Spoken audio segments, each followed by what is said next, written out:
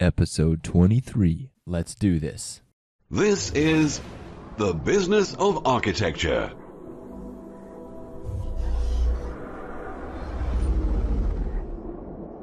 Helping architects conquer the world. And here's your host, Enoch Sears. Welcome back. I am your host, Enoch Sears, and this is The Business of Architecture, the show for solo architects where each week I bring you an interview exploring how you can leverage your skills as an architect to make more money so you can forget about paying the bills and focus on creating great architecture. Well, welcome back, Agile Architects. I want to welcome you to Business of Architecture today.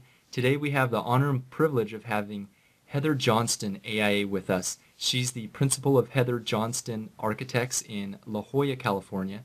And she has some pretty interesting things we're going to talk about today. She just finished building um, her own custom residence in La Jolla. And so we're going to go through that process of what it took to do that. So first of all, Heather, welcome to the show. Uh, it's great to be here. Thanks, Enoch. Good.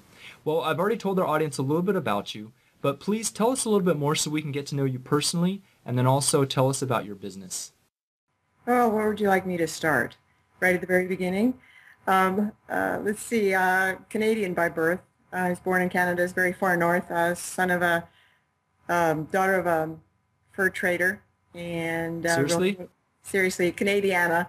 And, uh, and uh, he was a, my mother was the daughter of a prospector, a gold prospector, an inventor. So I grew up um, pretty much um, in the land of the midnight sun with hours being my own and uh, a lot of freedom, tremendous amount of freedom. There's not much up there except for rocks, stubby trees, 100 miles south of the tree line, and um, just a terrific amount of exposure to the outdoors and um, a lot of different cultures. Um, the Yellowknife Indians, for one. Um, my first friends were, you know, Native Indians, and we just grew up in a way I don't think that many kids have the chance to uh, now or even then. So I think that gave me a certain sense of adventure.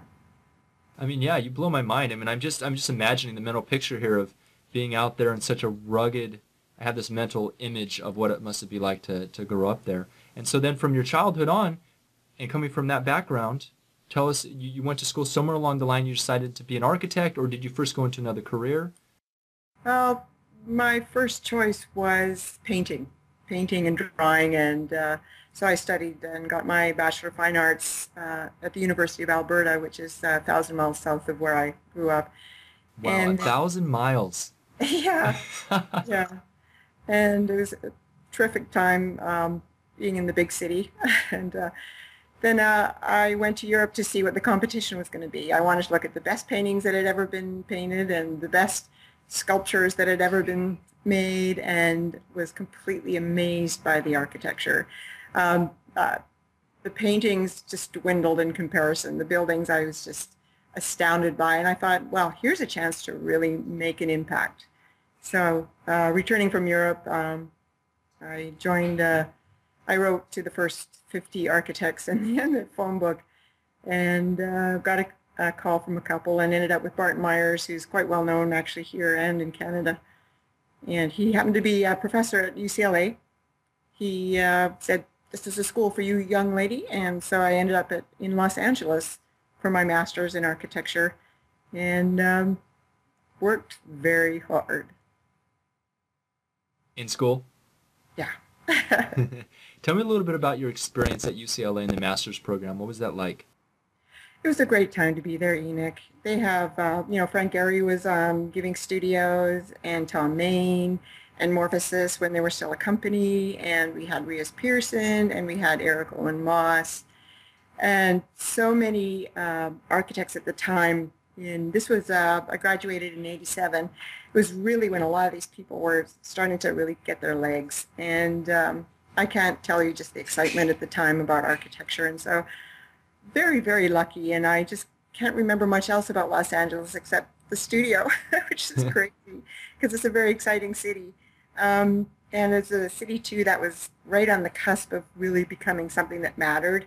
And um, very edgy place. And it was just a really great time to be there.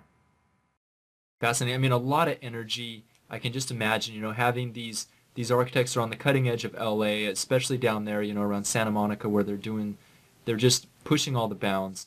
What, how did that relate to the studio and your experience at school? What um, was UCLA at that time? Was it more theoretical? Was it more construction based? Did it have a particular kind of theme to the architecture program? That's a good question, Enoch, and it's very um, uh, theoretical, I would say. Not so much as SCI-Arc, which I know you've heard about, but um, more of a practical, theoretical way, um, being encouraged to uh, explore things that it would be very unlikely uh, you could have the chance to do once you graduated. Um, I would say we didn't get a lot of grounding in the actual business of architecture, um, which I think uh, is something that all schools need to look a little more closely at. But we were given the opportunity to um, just really explore, and actually we were goaded into being more adventuresome and more and take more risks. As um, you know, many of us went in there very conservative, wanting to do you know nice little projects, but we were actually kind of kicked out of that kind of attitude and said, you know, here's your chance. And also, it is. And uh, how many architecture schools does LA have? On like four at least.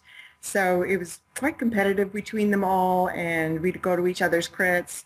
And um, yeah, so it was a great experience because you know Cal Poly has a much more practical focus, and then SCI-Arc was much more experimental again, and then there was USC, which was probably somewhere in the middle of all that.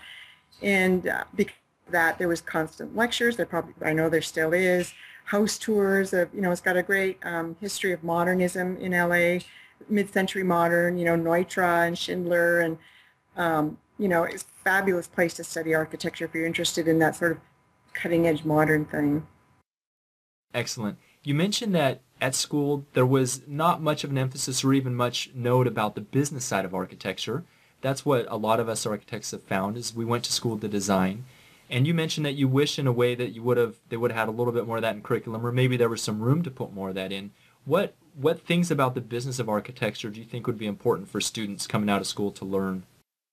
Well, I think it's going to be um, important to stress that it's great to think outside of the norm. It's fabulous. One must do that, and it has to be encouraged. However, uh, the science of building what's going to make it happen. So I think it's important to not just stress the science of building, but also to talk about um, how are these things going to get funded and what are the options in getting your projects built. Um, at that time in particular, it was very much the star thing, all these uh, wonderful architects that everyone, oh, they're so amazing. Uh, so if you weren't a star, it was sort of like, what's the other option? Well, you were a CAD jockey doing elevators. Um, there wasn't really much of a, a emphasis given on an alternate way to do architecture other than being a star. So if you weren't a star, it was like, well, then what are you? So I think that maybe that's still being answered uh, at the school. You know, it's been a while, but I think it's definitely something with, that the star system was very much um, glorified and and um, talked about as something that we should all aspire to. And I'm thinking maybe that's a little bit off base, particularly after we've come through these last 10 years and what we've seen. Interesting, interesting. You know, and that is definitely a dialogue that I hear going on uh, on social media. Architects are talking about it in the, the journals that we hear, the architectural magazines. People are discussing the role of the star architect versus the majority of what architects do so yourself and where did the career take you? Did you go this? Did you go to try to be the star architect route? Did you where where did you fall in that continuum? well, I must say that um, the only reason I was in Los Angeles was to go to architecture school. So weekends were, uh, dude, surfs up. and I awesome. Forget about it. I'm here to work, and uh, so I had a different attitude. So one would say that is the kind of attitude that is driven by I really wanted to succeed. I wanted. I also had to succeed because uh, I was paying my own way. Um, so if it wasn't for scholarships um, that I managed to get three years in a row, I probably would have had to bail and go work in a restaurant somewhere. So I was very motivated financially to actually continue to excel because that was the only thing that was keeping me in school. Um, so I would say then I graduated with that same idea that uh, you just work hard enough and you're going to get noticed and all these people are going to call you up and throw money at you. and, um, yeah, that's how I graduated. And of course, you know, life gets real. Yeah. So did that work out? I mean, how did that did that happen? Um, how did it work out? Well, well, did you know you mentioned you know the the idea, and I know you're being tongue in cheek about people throwing money at you and working hard. You know, so what was the reality when you came out that you discovered? Reality was um, eleven dollars an hour working in an office. Can you imagine that with huge student loans? Eleven dollars an hour, and uh, my engineering friends were making twice that as a starting salary. Attorneys, doctors, they were like shaking their heads. It's like, what? um, because I worked so hard. I worked harder than any of them put together, except well, maybe doctors. But uh, and then I was asking for uh, a raise to 11.50 an hour. That's appalling, and I don't think it's changed that much. And I still think that there's a lot of soul-searching architects need to do about how hard they work during school and you know after school and what the rewards are. And to me, that's always been a disconnect. Yeah. You know, you've been in the industry long enough to probably have gathered some conclusions or some hypotheses about the industry. And let's just speculate a little bit. You know, just what do you think? What are your opinion of why that system is the way it is in terms of? Um, I don't know if it's a pay disparity or not, but there's definitely the impression that you know starting architects have a low salary, and then even when they're in the prime of their career, their their salaries don't necessarily compete with uh, the amount of time they put in school regarding um, compared to some other professions. And the so, internship. Exactly, you know. Uh, do, you, do you see any core systemic problems with the architecture field that kind of lend to that, or what's your perspective on why why that is? That is such a great question, and I wonder how we actually got ourselves in this position in the first place. And I'd say it probably goes back to, um, you know, at one point we were master builders, and then we kind of lost that because somehow it got dirty to mess with the buildings part portion of the whole um, uh, idea of getting buildings built. And um, as a matter of fact, I think it was quite clear in the uh, 30s and 40s in the AIA, uh, whatever they call it, set of rules that uh, you never mixed architecture with the actual construction. And I think that kind of um, separated architects from their previous grand role, deservedly so, of the master builder and since then, it's been more and more diluted and is, you know, we we read the same blogs. Um, a lot of it's uh, architects not wanting to take responsibility because it's gotten so litigious. So they, you know, give a lot of responsibility to contractors, project managers, none of whom are, none who, none of whom have architecture as their first uh, architect, architecture as their first goal. Uh, so I think I have to say, I, I'm afraid architects have to take the responsibility for where things are now because they've, you know, they've abrogated pretty much, you know, a lot of the scope to other other parties. So I have to say, architects can only look at themselves. Gotcha. Well, it's good to get your thoughts on that, Heather. I appreciate it. The, the, another question I had for you was, so you come, let's go back to the time when you came out of school, you went and worked really hard at these firms for $11 an hour for a while. And then take take me from there to to give me a summary of, of your career up to the point where you went out on your own. Uh, the summary. Well, yeah, I worked for um, a number of bigger firms, Hardy Holzman Pfeiffer and Barton Myers, as I said, and then also Rios Pearson, who do some lovely work in L.A. And then the early '90s hit '92, when um, it, it was pretty pretty similar to what we just went through. And so at that time, uh, they were still building in Canada. So I had to say goodbye to LA and um, I went back to Canada when, uh, you know, to actually continue to get my chops in how to build. And uh, I was hired by a couple of, um, I call them cowboy architects. And they're called um, Osborne Clark Productions. They're two architects, but they gave me a tremendous amount of responsibility. It was awesome. They put me in a little float plane. Um, this is in Vancouver and sent me off to all these little islands to help them build uh, houses for you know people who were retiring or building second or third homes on these little islands from the ground up, clearing the site, uh, getting the materials in by ferry or you know uh, truck or float plane because uh, it's pretty rough there getting all the services brought in and they would just put me in the float plane, wave goodbye, and say, uh, "You go, girl." And I really was given a lot of sink or swim responsibility right from the beginning, and that's that's where I where, really learned what it's about. And talking to the builders, you know, being comfortable with the guys. Let's face it, they're all guys, and enjoying them, having fun, at the same time as being scared to death with all the responsibility. But um, you know, that was pretty good. And what happened was um, I I met my husband on one of these, the shortest uh, airplane flight in Canada, 13 minutes long. And uh, so we ended up getting married and moving to one of these little islands. And the only other architect on that island, Schubart, actually a, a former student of Frank Lloyd Wright, well, he died. And so there was, hi, I'm an architect and I live here. So I was, it was very fortuitous that I started to get calls from people wanting, you know, second homes from this little island called Salt Spring. It's one of the Gulf Islands. You know, there's Bellingham and uh, Thetis Island in the United States. There's a string. It's called the Gulf Islands. It's off the coast of Seattle. They extend up into Canada, and it was on one of those that I was able to actually then start to do my own projects and and just seat of the pants stuff because you know uh, I hadn't really done a lot of that except for other another company. So.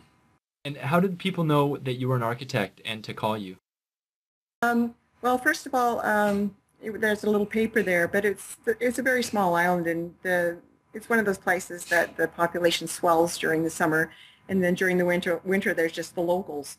Uh, so uh, word got out, I think, because um, uh, oh, I started to talk to some builders and say, look, you know, if we could work together, etc. And then also um, uh, people had heard of Osborne Clark. That's these are the people that I I worked for before I decided to start my own firm on the island, and they checked me out to see if I was frankly cheaper, and I was. so let's face it, they picked me because I was cheaper. I was certainly untried. So. And you mentioned too um, the architecture firm you worked for is Cowboy Architects. What what did you mean by that? Well, they didn't follow the rules.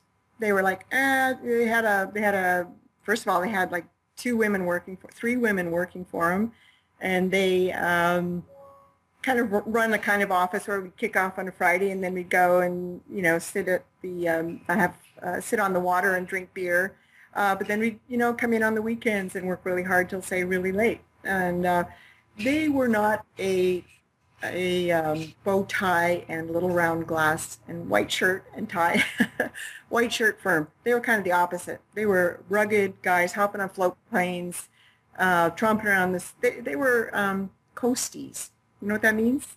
You know what a coastie is. Yeah, well, someone who's very comfortable um, on the coast and is used used to that kind of float plane way of getting around and and uh, sitting out around a fire a fire a campfire and um, more of a rough and ready kind of architect than a than a stiff laced uh, stiff office kind of guy in New York. Completely the opposite, and I loved that. It was very fun. Well, now is a great time to talk about uh, our success quote, Heather. Did you have the opportunity to look up a quote that you'd like to share with our audience? Oh yes, I did. I'll put on my specs. and we'd um, love, we'd love to hear that. Uh, yeah, this is kind of perfect. It's like, hell, there are no rules here. We're trying to accomplish something. That's from Thomas Edison.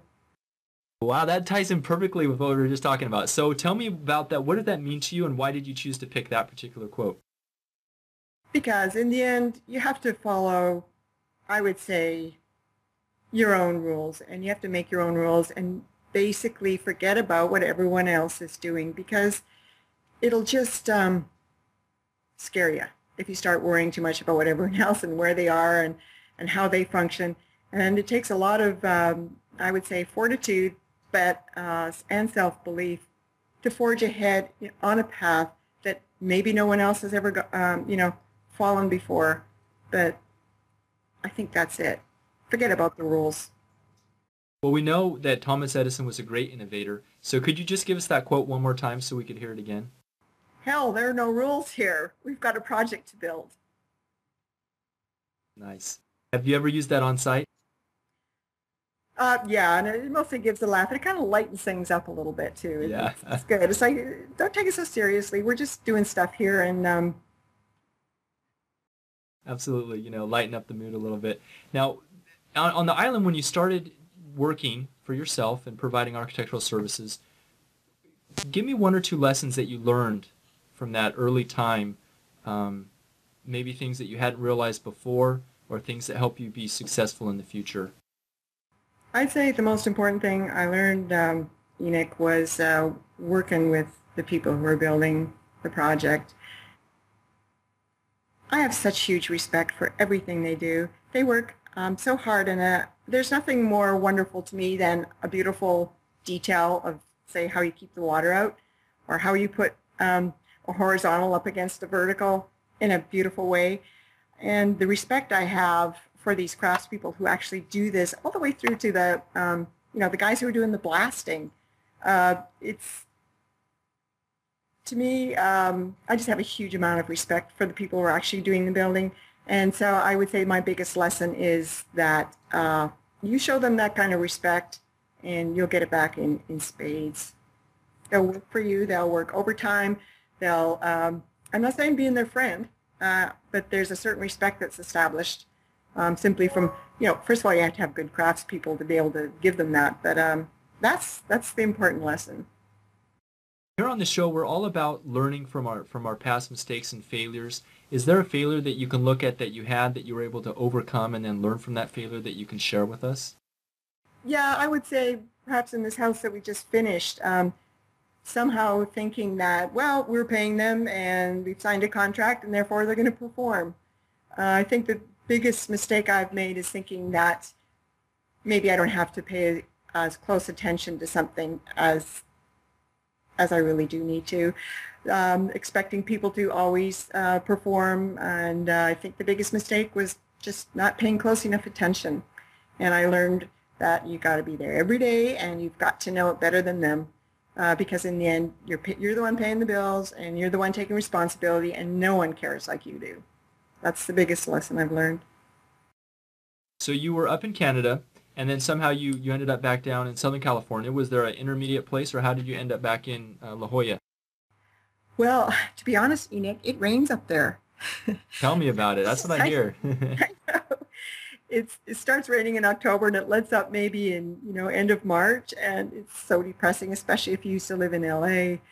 So I pined and I finally dragged my husband back and yeah, I don't know if you can ever return to a place you left. So I don't know if I wanted to do LA again. So we checked out San Diego.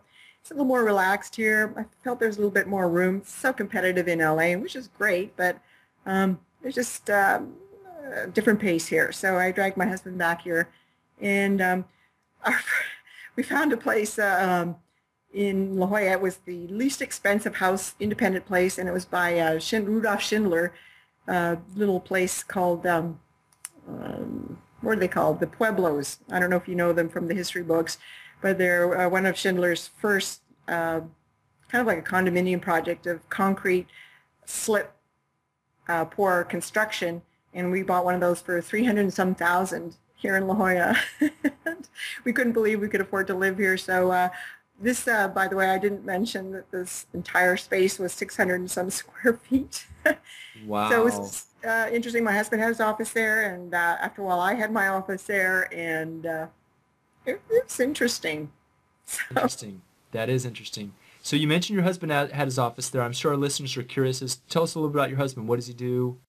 Oh, my husband's uh, an engineer. We're completely unaffiliated in terms of business, and he's um, basically he works with uh, the big oil companies on ice spills, I mean oil spills and oil and ice shipping, uh, oil spill plans, how to clean up oil.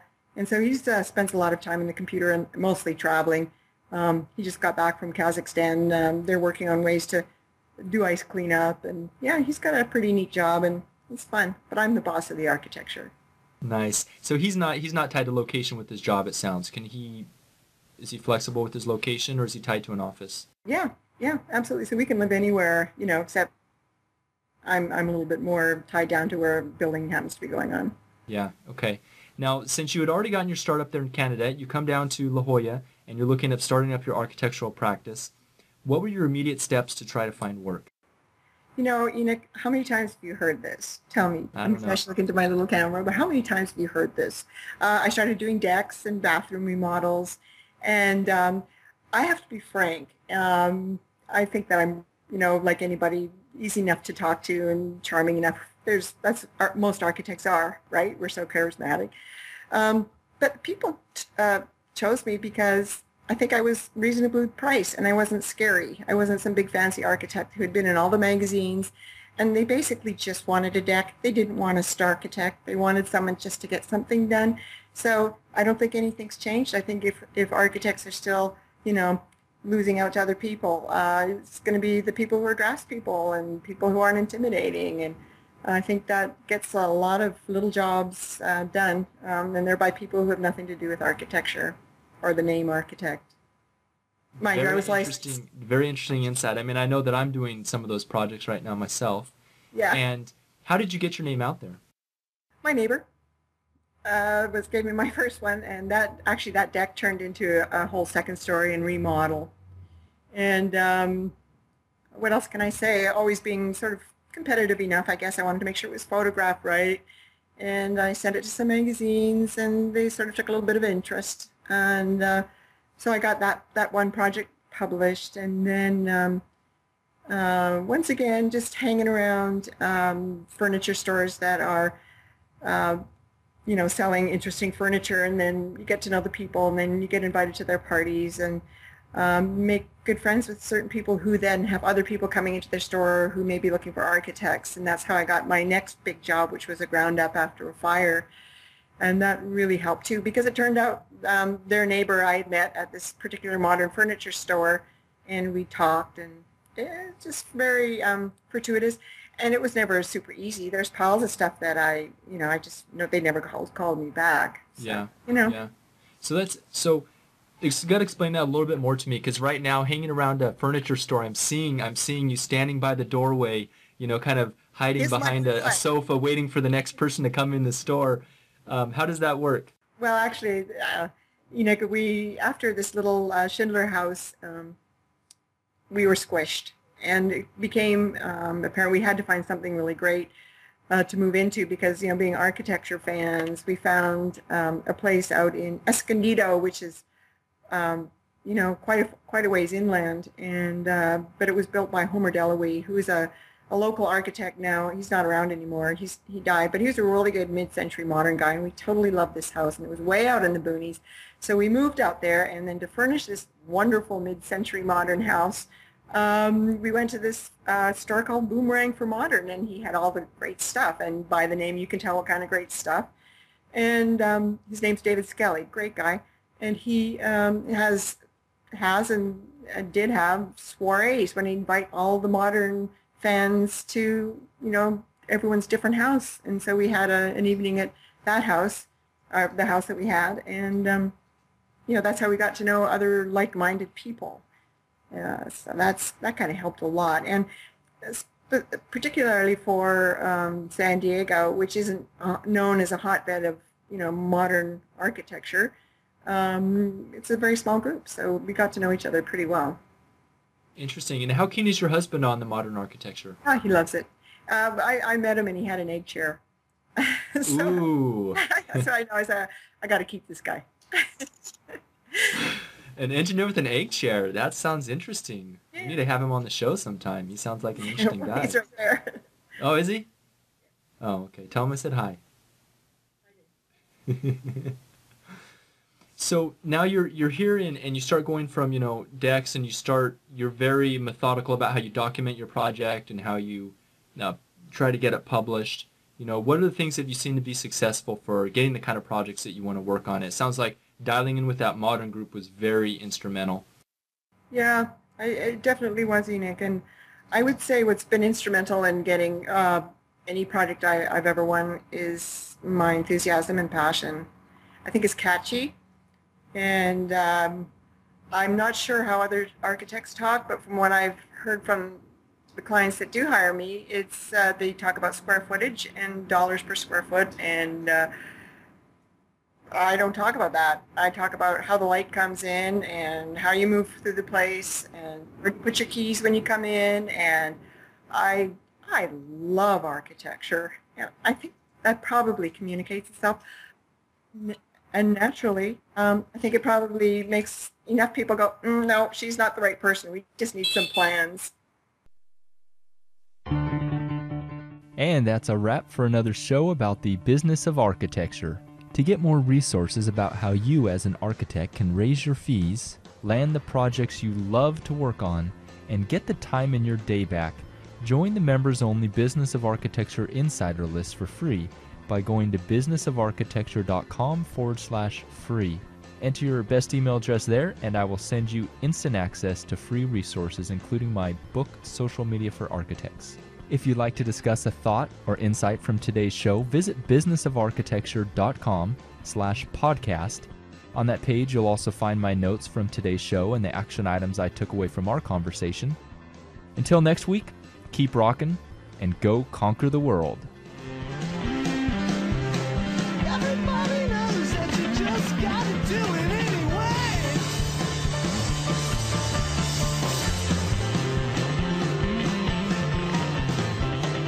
Views expressed on this show by my guests do not represent those of the host, and I make no representation, promise, guarantee, pledge, warranty, contract, bond, or commitment except to help architects conquer the world. Bump music credit to Ben Folds 5. Do it anyway.